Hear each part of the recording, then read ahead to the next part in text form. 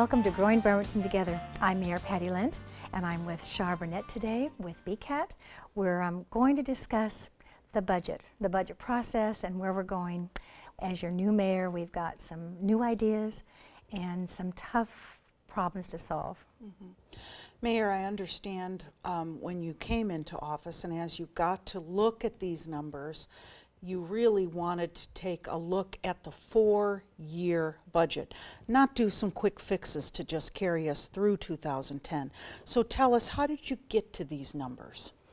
First of all, I have a tremendous staff. Our financial um, department has, Kathy's been with us 20 years, Caroline's been with us six years, and they not only have been the analysts for us in creating our budgets, but seeing that they've balanced. What we've done, though, and not just the last few years, but for actually decades, is we have been able to use different funds from different areas of our income revenue in order for us to balance. Looking at one year at a time budget, it's easy to get a balanced budget, move forward, and find that you're going to have a bigger problem or even less revenues for the next year. Having said that, I know that in my four-year term, I plan on looking out and we have developed a four-year projection. We'll be able to take and look four years out to see where the revenues are going, projecting how we can increase those revenues and then how we can cut back on our expenditures. Mm -hmm. So this one-time fix that we've been doing is no longer going to be um, sustainable, nor will our revenue support the size of our city government or the services that we're currently providing. Mm -hmm. And that's not unique to Bremerton. We are not alone in this. Um, I had a discussion with a friend of mine. Those of us that work for the city, love working for the city. We've worked for the city for 20, 25, 30 years. Mm -hmm. Those that work in the shipyard work there 10, 15, 20, 25, 35 years. The county, the same thing. Mm -hmm. That is a huge expense for our city. Our um, personnel costs, we have fabulous benefits. Those are, that's, that is the biggest chunk. And Shara, I'll explain to you what we've done is we've gone back to the 2005 budget. That was before the big balloon when all of our property, our real estate excise tax increased to the point where we thought we were going to be fat um, city, fat city, um, well, and have lots of money mm -hmm. to mm -hmm. sustain us forever. Well, going back to 2005, looking at the number of employees, looking at where our benefits were since that time, um, all of the benefits that are part of our bargaining units and part of what we provide for each city employee has increased 13% annually. Mm -hmm. That's an average. One year we actually had a 25% increase. Wow. So when you average that out over the last five years, that is unsustainable. With the revenues, they are not increasing to that. In fact, mm -hmm. with a, a, negative revenue for last year, um, it just doesn't match. So again, right. as we are right sizing city government, we're taking a look at every single department, including the city council, our police and fire, community development, parks, everyone is going to feel this pinch. In 2009, there was across the board 4% cut. I took a hard look at the areas that we had already cut and where we needed to look at additional reductions. And I'm just not straight across the board. I know there are certain areas of our budget we have to protect. The first is our citizens want to know that they are safe, that we provide health and welfare for their being. And that tax dollar would be for our firemen, our police, um, for the quality of water that we have, and it's the most pristine in the state. Also, that any septics or sewers are going to be safely um, controlled and not have any backups or areas of concern. Mm -hmm. So we have to watch that those areas don't get cut to the point that they, they can't provide mm -hmm. the needed service. But with that said, we started furloughs in 2009. We're asking additional furloughs. In fact, what I've asked voluntarily of all of our employees, the represented by the union and the not rep represented, is to take eight furlough days or the equivalent that will get us through 2010. My preference is if there's some way we could sustain that through 2011. Then we would be able to really see how the income and revenues, how the building and businesses we're trying to build are going to generate more money. So with that said, it was really difficult Mm-hmm. to select a percentage to go through. Mm-hmm. Um, I spent hours and hours with our finance people, and just to give you an idea, we kept police and fire at the lowest percentage. It is just a touch over 4%. We went from And there. that's a cut number, correct? Cut, This is to cut by that cut percent 4%. of their current balance, uh, of their current budget. Um, One of our areas went up 17%, or to cut by 17%, some 6, Mm-hmm. 8, 9. Um, So they're looking really um, diligently to find out where we can not just cut it one time, but sustain it for Mm-hmm. the services provided to the citizens. Um, let's make sure everybody knows that there was a study session held with mayor and council, finance department heads. Everybody got to the table, and this is what council directed you to do. This is what the people want um, safety, health. And that is what the mayor is working on then with the department heads. So that is the direction from council. So now everybody does their work, brings it back to the mayor. And Mayor, when do you think you are going to be ready to go back to council and say, this is what we are recommending? We're trying to get everything put together. Now, I'll be working with all of our bargaining units. Right. um, individually, sometimes up to four hours, just so that we can take and finalize. Um, going to the table and talking about the issues at hand. We do not want to open up our current contract. We have a th- three-year existing contract with our Teamsters, our police, and our fire. If we can get a memorandum of agreement on some of the voluntary concessions that I'm asking, I really feel that we can again get through 2010 and try to use that in 2011. Without the bargaining and the conversation back and forth, um, we need to really talk about what they're doing. They're coming up with very creative ideas. I am exceedingly um, pessim- I mean optimistic for what they're going to come to the table with so that we can do the budget. And we're going we're showing them 2012 and 13 as well. So we have a good picture when we start negotiating. To get back to your question, Char, I'm hoping by the end of June to have something to City Council that is agreeable to all of our bargaining units and agreeable to our employees.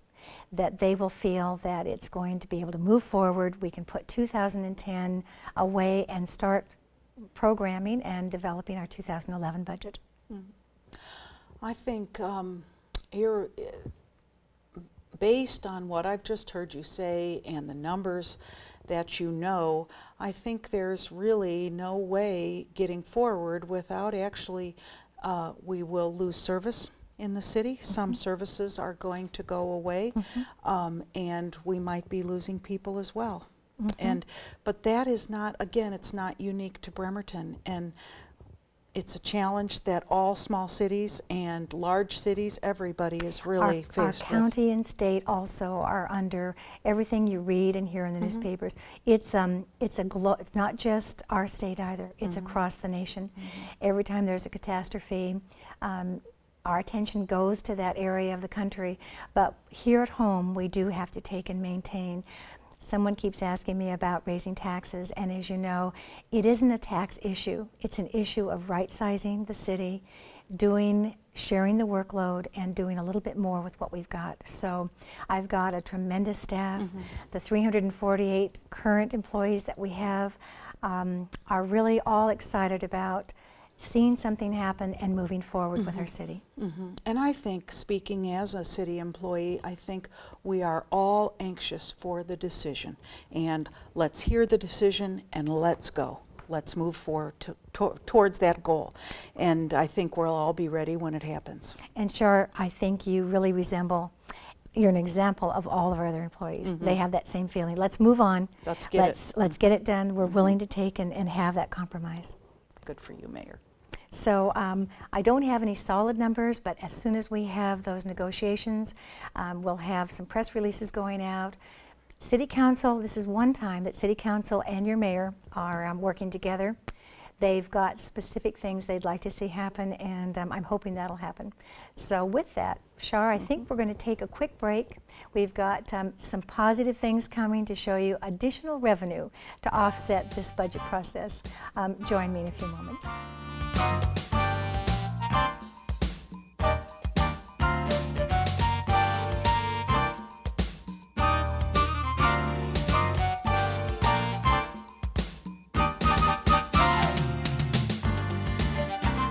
Welcome back. Some good news now after all those budget talks is I have Patty Graf Hoke, our newest director for the Kitsap Peninsula Visitor and Convention Bureau, and she has some good news for us. Well, the, the best news that I have, Mayor Lent, is the fact the sun is shining. And it's supposed to be 80 degrees this weekend. It would have been nice if that had shown up last weekend for Harbor Fest, but we'll take it this weekend. so um, I am just delighted to be here. Thank you so much for asking me to join you. And what can I tell you today about the visitor? First of all, uh, as the new director, you've got lots of changes that are taking place. Um, a new branding, um, some new numbers on our website. Just give us an update. Well, we launched our uh, branding campaign actually late last year. Uh, we came out for the very first time. The Kitsap Peninsula is on the map in the Washington State Travel Planner, which is an extremely popular uh, online and print publication produced by the Washington State Tourism uh, Office. And our viewers are going to be seeing that right now. Yes, yeah, it's it's just a it's fabulous. It's we get lots and lots of uh, referrals from that publication, so it was really important for us to be in that publication, uh, and and in a big way. And before we were under North Seattle, and so now we have a five-page section of our own. And it's not just Bremerton and Kitsap County. Well, It's the peninsula. That is correct, and I thank you for mentioning that. Uh, it's really important, just like Yakima Valley is the Yakima Valley, not Yakima County. It's Yakima Valley wine country, country it's the Tri Cities. Uh, those regions have really branded themselves by coming together and uh, bringing all the communities together under a regional uh, marketing and branding strategy, and that's what we're really wanting to do with us. We think we have as much to offer as those regions. We, we, they don't have Disneyland, and they're not Las Vegas either. And our feeling is, is if they can brand themselves and make them themselves internationally known, we can too, especially with our shorelines and waterways and marinas and fountains. We have just as much to offer. So our branding strategy is to really help people recognize where the Kitsap Peninsula is. So the name of it is the natural side of Puget Sound, mm-hmm. and we did that on purpose because Puget Sound is very recognizable, and it also positions us very close to Seattle, mm-hmm. 13th largest metropolitan area in the United States. Wonderful. And it differentiates us really important from the Olympic Peninsula, which is the forests, the wetlands, the oceans, mm-hmm. and that's not quite who we are. We have beautiful natural places, mm-hmm. but we're so accessible to the urban areas of Seattle, the east side, and so we really want to take advantage of that. And you have a new website. Well, we're launching a redesigned website probably uh, in about five days. That is just going to be spectacular. We're really excited about it. It, uh, it. it is going to be very effective in helping us to promote all of the different activities that we're going on that are happening right now. Uh, we have a lot, a lot of things, features built into the new website, so we can put things up immediately and let people know when the wine festival's happening and the Blackberry Festival and That's great. and runs and Now, your kickoff was Memorial Day weekend, and you had a presentation for all of our community. It was the first annual um, kickoff. Well, and it was our, it was our, t- a trad- it was supposed to be a traditional um, annual meeting. We have, we're required, we're a nonprofit, Mm-hmm. have one every year. And typically, those were held at lunch, 1 o'clock, with a PowerPoint presentation. Mm-hmm. But we decided, since we are in the tourism and entertainment business, which we are, we don't do root canals. We actually entertain people. Um, we decided to have a party instead and kick off the tourism season, and we really appreciate your being there.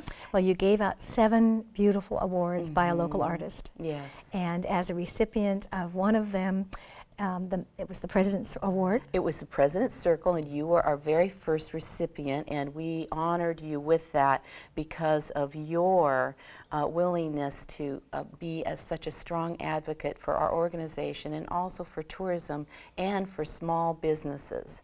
Because tourism is really all about small businesses, and we know what a strong supporter you are for that. What and we wanted to honor that. Thank you, and I so appreciate that's the highlight of my And office. Lisa Starrett was our, as one of our board members, and she donated all these one-of-a-kind original uh, designs, um, awards, and she was just, it, they were just lovely. We thank her very much for that. Patty, tell me what what a tourist looks like today. You know, that's a good question. Thank you very much for asking that because it is a very com- complicated, especially with our legislature and elected officials. Everybody thinks of a tourist as somebody with a Hawaiian shirt, you know, umbrellas in their drinks. Leisure, leisure activities. These are people with lots of disposable income, and I think that perception is what uh, keeps us from really funding tourism programs the way we should. And we believe that uh, today's tourism is really more about um, anybody who doesn't live here. And that is if you're having a wedding and you've invited relatives from across the country mm-hmm. to come to your house for three days. Now, are those tourists or those guests to your wedding? And Both. our, our feeling is anybody who doesn't live here is a, is a visitor. So we like to use the word visitor versus tourist because we also, uh, the VCB is really a proponent of uh, local tournaments. The Pumas are going to have their opening uh, uh, U.S. Open. They've made the championships. We're just really Second excited. year in a row. That's right. With and we're really excited about supporting them, and we have uh, information about where you can get tickets, and that's on the 15th of. Uh, the next week on Tuesday, June, but tournaments are very huge for, for Bremerton as well. I mean, NCCA, uh, the NCAA, excuse me, golf tournament that uh, was just at Gold Mountain brought in hundreds and hundreds of people, and we concur with the uh, Sun, which said that Gold Mountain is a gold mine. Um, and so, you know, are those those are those are I think some people would say those are tourists, but the families that came with them. So those people are not just using hotels; they're using the restaurants, they're using the grocery stores, they're using the pharmacies, they're going to the shopping malls, they're buying art in the local galleries. And in absence of having our businesses and our economy turn as fast as we want, this is the perfect way of having some revenue come into our city for sales tax. Um, Absolutely. how are the hotels doing? Well, uh, surprisingly, uh, the smaller ones are struggling a little bit, but I, again, I believe that that's because smaller hotels, like s- any small business, really has to have a niche. It has to be specialized. Unless there's just so much revenue, there's just lots to spread around.